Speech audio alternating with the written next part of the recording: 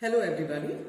I, Neetu Mane M, faculty from EEE Department of Sai Vidya Institute of Technology, welcome you all to the Basic Electrical Engineering Laboratory of first year engineering course. In today's session, we will learn experiment 4, two-way and three-way control of a lamp. In today's session, the aim of the experiment is to verify two-way and three-way control of a lamp and also form its truth table. Two-way switching connection is used to control electrical appliances from two different places by using two-way switches. The most common use of two-way switching connection is staircase wiring where a light point can be controlled from two different locations. One switch may be installed at the ground floor at the beginning of the stairs and the other switch may be installed at the upper part where the stair ends that is in the first floor. The light point can be controlled by using these two switches. The two-way control circuit consists of an input AC supply, two switches S1, S2 and a lamp. Now let us conduct the experiment practically. As seen in the circuit diagram, we have an input AC supply which is single phase 230 volts and 50 hertz frequency. So these are the input leads of the circuit and switch S1 and S2. This is switch S1 which has three terminals in it, common 1 and 1 dash. Switch S2 similar to S1, three terminals, common 2 and 2 dash indicated for the purpose of uh, showing the difference between switch S1 and S2 and a lamp which has two terminals. Let us, let us rig up the circuit practically. So from the circuit we can see that from the line of an AC supply the switch is connect, uh, the wire is connected to a common terminal of switch S1. So this is the line terminal of the single phase input. So from line to the common terminal of switch S1. Then we have 1 connected to 2. From 1 of S1 connected to 2. Then from 1 dash it is connected to 2 dash. Next, from the common terminal of switch S2, it is connected to one of the leads of the lamp. So S2 switch, common terminal. From here, common terminal is connected to one end of a lamp. And from the lamp, the other end of the lamp, from other end of the lamp, it is connected to the neutral terminal back. So from here, it will be connected to neutral terminal of the AC input. Now let us switch on the circuit and see how the circuit performs. Now let us learn how to read the switch. Whichever side is the switch pressed, we note that particular number. So when the switch is pressed this side, it is indicating 1. When the switch is pressed this side, it indicates 1 dash. Similarly with the switch S2. Now let us switch on the circuit. So now we can see that the switch is placed, S1 is placed at 1 and S2 is placed at 2. We see that the lamp glowing. Coming to the other case, when switch S1 is at 1 and switch S2 is placed at 2 dash, we see that the lamp switched off.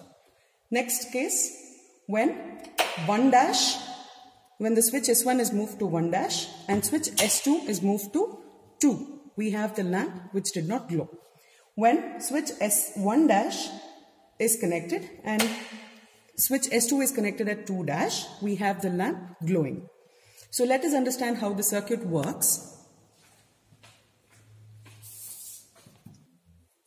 Now let us understand how the lamp glowed and for which all cases the lamp was glowing.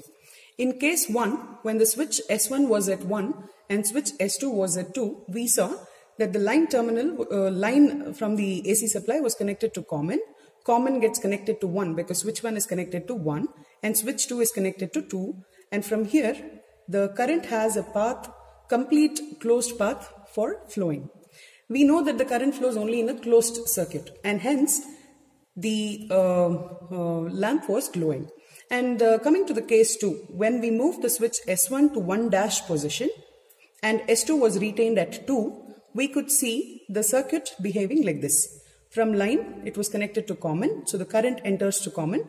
From common, it enters 1 dash because the switch is connected at, a switch S1 is connected at 1 dash.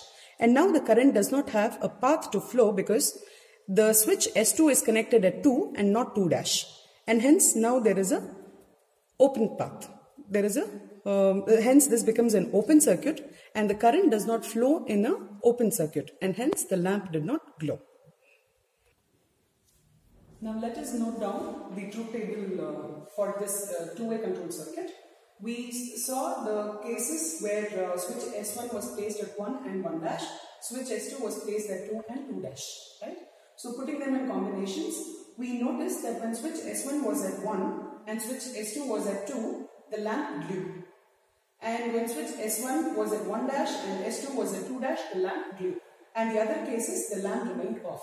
This was because uh, only in a closed uh, circuit condition, the current completes the path in the circuit and hence the lamp blew. But in an open circuit, this does not happen. That is why the lamp was off. Now, let us learn a three-way control circuit in this experiment. In addition to a two-way control circuit, we have an intermediate switch in addition to the previous circuit. The addition of this intermediate switch allows a two-way switched lamp to be controlled from a third position as well. That is why the name three-way control of a lamp. So let us understand what all this the circuit comprise of. We have input AC supply, single phase 230 volts 50 hertz, switch S1, S2 and an additional switch S3 along with the lamp. Now let us conduct the three-way control of a lamp experiment practically. As seen in the circuit diagram, we have an input AC supply with two leads L and N, line and neutral. Then we have switch S1 with three terminals, switch S1 with three terminals, 1, 1 dash and COM. Intermediate switch S3 has four terminals A, B, C and D. So this is the intermediate switch which will have an internal connection and these are the terminals A, B, C and D. Switch S2 with three terminals 2, 2 dash and COM. And then we have a lamp with two leads. Now let us conduct, uh, connect the circuit. As seen in the intermediate switch S3 can be connected in two ways. One is called as a straight connection and the other one is called as a cross connection.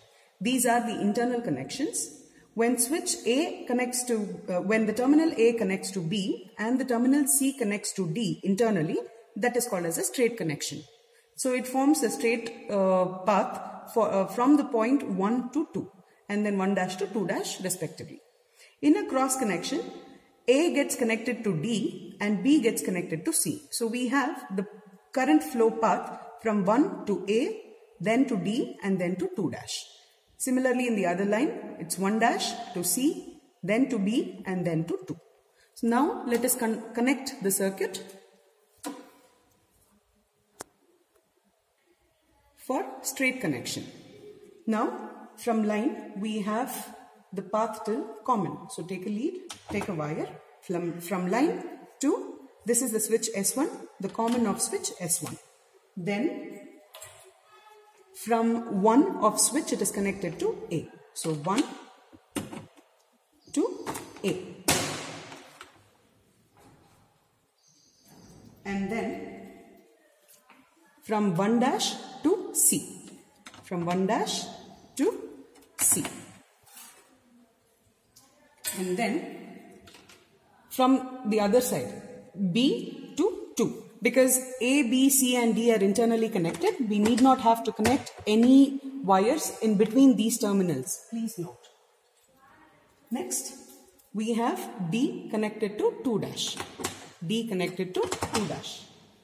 And then from the other end of switch S2 common point, we have one wire that goes to lamp. So from common, it goes to one end of a lamp. And then from other end of the lamp, we have a wire that comes to the neutral point. Please note. So this completes the circuit connection. Now let us switch on the circuit and see how the circuit behaves. So now the straight connection circuit is ready. When the switch S1 is at 1 and switch S2 is at 2, we see that the lamp glowing. In a straight connection, internally terminal A is connected to B and hence it makes a free path for the current from one end to the other end. So from switch S1 to S2. Similarly, in the uh, parallel line, we have 1 dash and 2 dash connected because C is connected to D internally. Now, uh, the next case, when switch S1 is at 1 and switch S2 is at 2 dash. Now we see that switch S1 is connected to 2 but for 2 dash we do not have any path and hence there, this is an open circuit. When switch, the third case, when switch S1 is at 1 dash and switch S2 is at 2, we see again there is a um, open, uh, open circuit connection and hence the lamp is not glowing. When switch S1, the fourth case, when switch S1 is at 1 dash and switch S2 is at 2 dash, we see that the lamp glows because the common is connected to 1 dash, switch S1's common is connected to 1 dash and switch S2's common is connected to 2 dash. So the current has a path to flow and complete the circuit. So this is how it goes. It completes the circuit and glows the lamp. Now let us see the truth table for this experiment, straight connection. So forming the truth table for the straight connection of a three-way control of a lamp, since switch 3 was at straight connection position, it is indicated as S throughout. And we saw that the lamp was glowing at two cases when S1 was at 1 and S2 was at 2. The lamp blew. And the second case when S1 was at 1 dash and S2 was at 2 dash. The lamp blew. Now, let us uh, conduct the cross connection, uh, uh, let us place the switch S3 at cross connection and conduct the same experiment and see what are the results. Retaining the same circuit of the straight connection of a three-way control of a lamp, let us now conduct the cross connection uh, uh, experiment of a three-way control of a lamp so in this, we just change the position of the switch S3 to the other, uh, other position and we notice that switch uh, uh, internally, the terminal A gets connected to D and terminal C gets connected to B. And hence it forms a path for the current to flow from 1 to 2 dash and uh, the parallel line will have a path from 1 dash to 2. Now let us switch on the circuit and see what is the output. So in the first case, when switch S1 is at 1 and switch S2 is at 2 in a cross connection, we see that the lamp is off. Second case, when switch S1 is at 1 and switch S2 is at 2 dash, now we see that the lamp is glowing. The third case, when switch S1 is at 1 dash and switch S2 is at 2, we see the lamp glowing.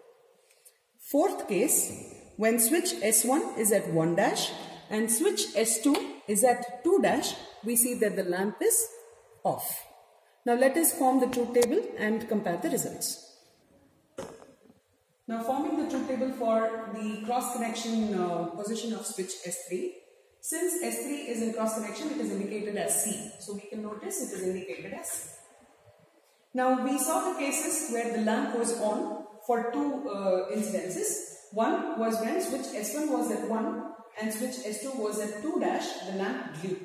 And the other case, when S1 was at 1 dash and S2 was at 2, the lamp again blew. So from this we can understand that in comparing the previous results, the straight connection and cross connection, the cases where the lamp was on in the previous case, uh, in the straight connection, we had the lamp off in this, in this connection and similarly uh, the other way, vice versa. So from this experiment we can understand that a single lamp was controlled by using switches S1 depending on the position of switch S3 and then switch S2. So we controlled, we learned how to control a lamp, a single lamp by using three switches at three different places and hence is the experiment two-way control circuit of a lamp and three-way control circuit of a lamp. Hope you learned it. Thank you for watching.